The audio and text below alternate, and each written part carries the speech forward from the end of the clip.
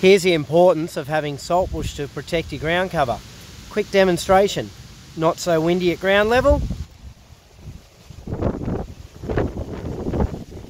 Very windy at the top of the plants.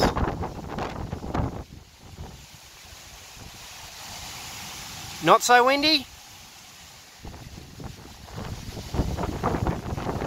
Very windy. And all that dust coming straight at us.